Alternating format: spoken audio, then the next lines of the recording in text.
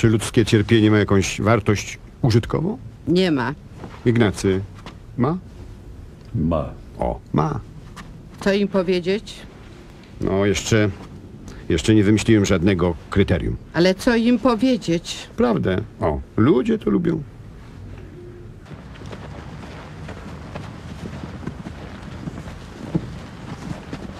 Pan Rydel, Pan prezydent Rydel. Pan prezydent Rydel nie będzie dziś przyjmować. Dlaczego? Pan prezydent zastanawia się, czy przyjąć jednolite kryterium, czy też ogłaszać różne kryteria na różne dni. A my tu mamy propozycje różnych kryteriów. Ale pan prezydent nie oczekuje rady, jeśli chodzi o szukanie kryterium. Pan prezydent wie, że potrzeby mieszkaniowe są bardzo napięte i że poszukiwanie kryterium nie może trwać zbyt długo. To dziś przesłuchań nie będzie. Nie będzie.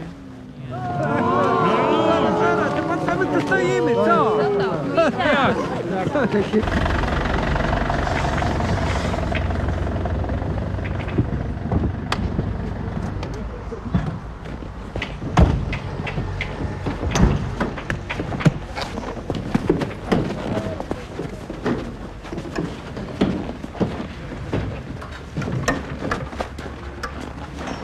to jest? Zamówiłeś sztuczną nerkę. Ja to zamawiałem? Zostawić czy zabrać? Postaw na osiedlu, będzie ogólnodostępny.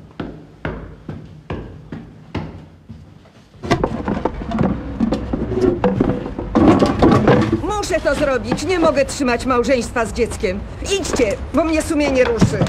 Idźcie już sobie, idźcie. Jak pani pięknie cierpi. Inni robią to byle jak. Pan Szagal może zostać.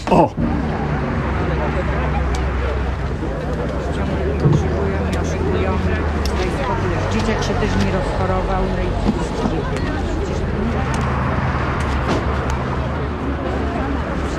Dzień dobry. Przepraszam, pan jest zawsze najlepiej poinformowany.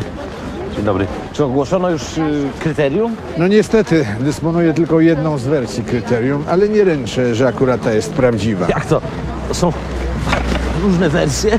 No, Kiedy pani Jasnorzewska ogłaszała kryterium, stałem dość daleko. Zapytaj mnie. Ja stałem blisko. Ten świr podaruje domki tym osobom, które potrafią właściwie uzasadnić potrzebę posiadania domku. To jedyna pewna rzecz. Taki łagodny warunek? Ja też się z początku ucieszyłem. Ale Jak to jest możliwe? Wydawało mi się, że wszystko rozumiem, a teraz nic nie rozumiem. A to, czego dowiedziałem się później, jest jeszcze bardziej dziwne. Podobno nie jest konieczne, żeby ktoś opowiadał o własnej sytuacji mieszkaniowej. Możesz opowiedzieć o cudzej? Podobno Rydel nie interesuje się faktami. Interesuje go ciekawa, dobrze opowiedziana historia. Znowu, znowu przesłuchuję! Znowu przesłuchuję! Znowu przesłuchuję! Znowu przesłuchuję! Znowu przesłuchuję! Znowu Znowu? Nie wiesz? Już parę osób wyrzucił. No, spróbuj mnie przekonać. Do decyzji o przydziale. A do czego innego masz mnie przekonywać? Mieszkamy. W małym mieszkaniu. Pewnie matka jest chora. Ojciec. Zakaźnie. Chronicznie. Masz chłopca, pewnie chcecie się pobrać. Tak. Kochacie się. I to jest wielka miłość. Nic więcej. A czego można chcieć więcej? Moje dziecko, pomieszkaj sobie jeszcze kilka lat w tych samych warunkach. Może kiedyś nauczysz się ciekawie opowiadać. Pan Grabski. Panie Grabski. Dzielności. Odwagi, panie Grabski. Dzień dobry. Ja tylko po rozmowę. A to wszyscy czekają po odmowę. No tak, ale y, widzę, że jakoś nikt z Państwa chwilowo nie reflektuje, więc może ja... No to niech pan idzie po tę odmowę. Tylko czy pan ją uzyska?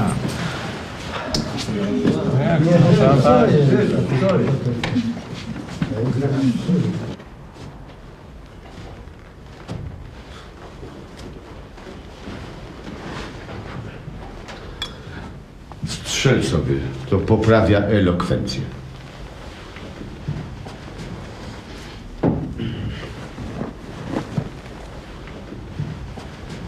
Niemowa? Niemową z zasady nie przydzielam.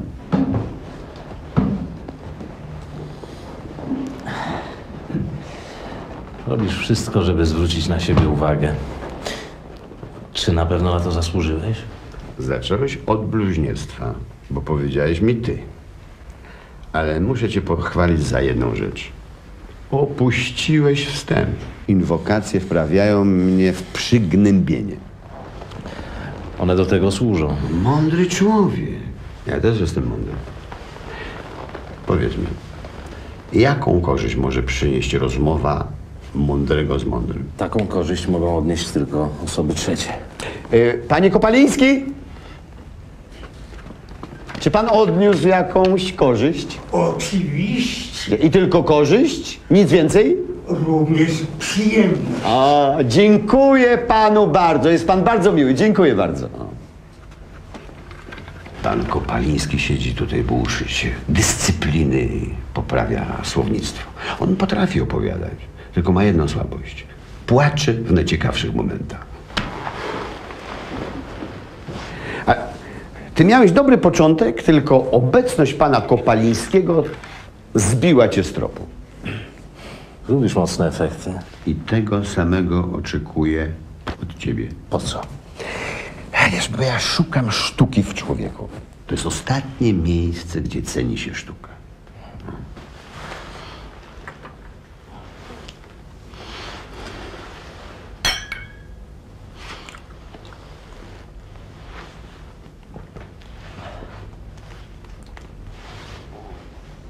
Jak coś wymyślisz, to wpadnij.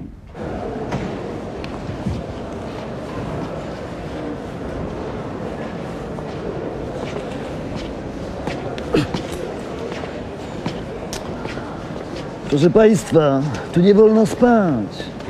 Dokumenty proszę. Czego męczysz, bracie? Jakiś dowód, bilet. Rzucili nas z mieszkania. Pozwól przespać jedną noc. Proszę cię, żona w ciąży. Pan gdzieś pracuje? Wolny zawód. Plastyk.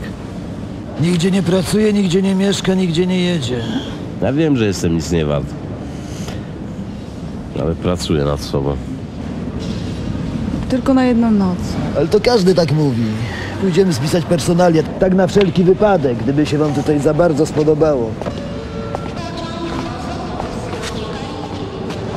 Jeśli jutro nie znajdziecie noclegu, znajdźcie mnie.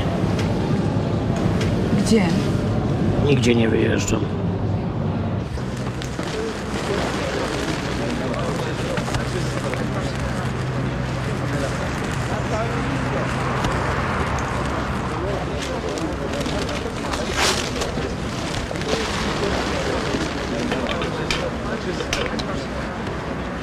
Mam pewien pomysł. Czy Rydel jest wrażliwy? Ale przykrywa to hamstwem. Czego ci życzyć? Szczęścia. Siły. Dzień dobry. Przesada.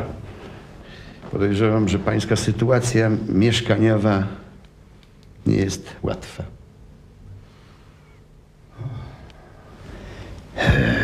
Jak pan to odgadł? No sądzę, że pan przyszedł do mnie w e, konkretnej sprawie.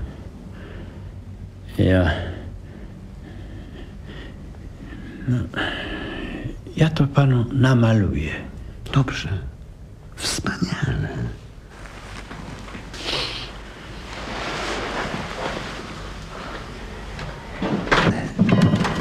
Zabiera mi pan zegar?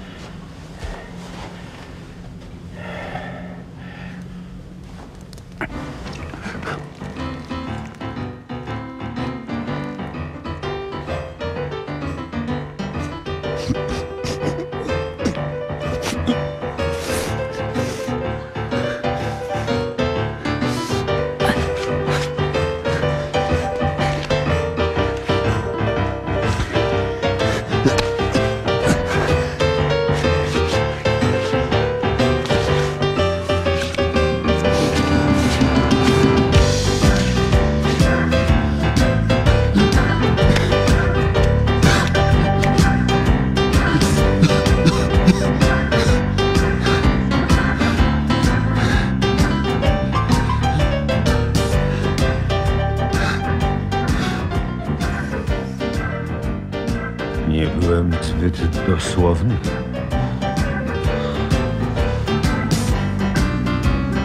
Ignacy.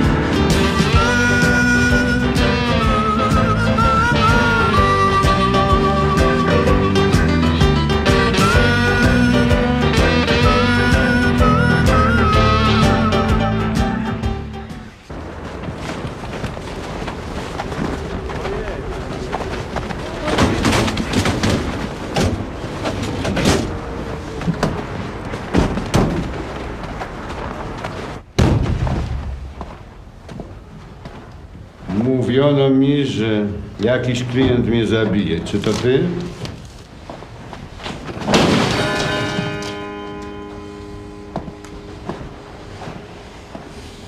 Dasz Szagalowi dom. A jaki to będzie miało wpływ na twórczość?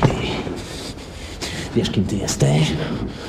Wiesz, kim ty kurwa jesteś?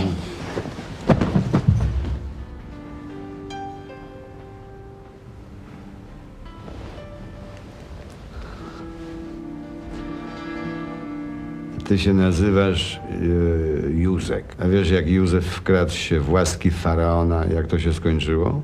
Został premierem Egiptu. Artycha, ty namalujesz mój portret.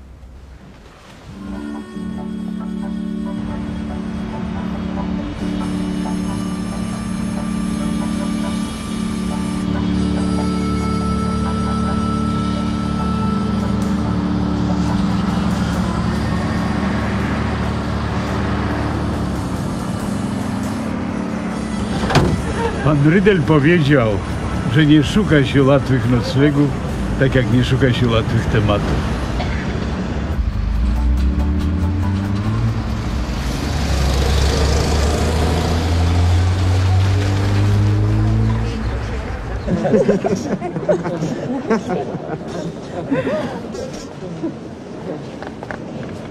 Proszę pani, O, dziękuję. Dzień dobry. Dzień dobry. Przepraszam cię, ale z Rydlem zupełnie tracę poczucie czasu. Dawniej traciłeś ze mną. Rydel mówi, że zostanę premierem Egiptu. Mamy gdzie spać. Tak?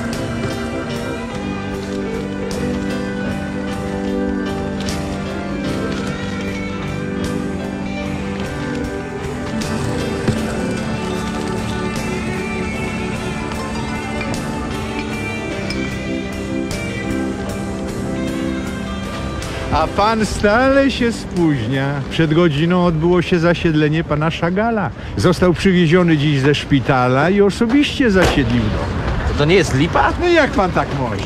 Pan Szagal w sposób przekonujący i artystyczny uzasadnił potrzebę zamieszkania. Gdzie on jest? Tam. Pan Szagal nie przyjmuje gości, przyjmie tylko notariusza.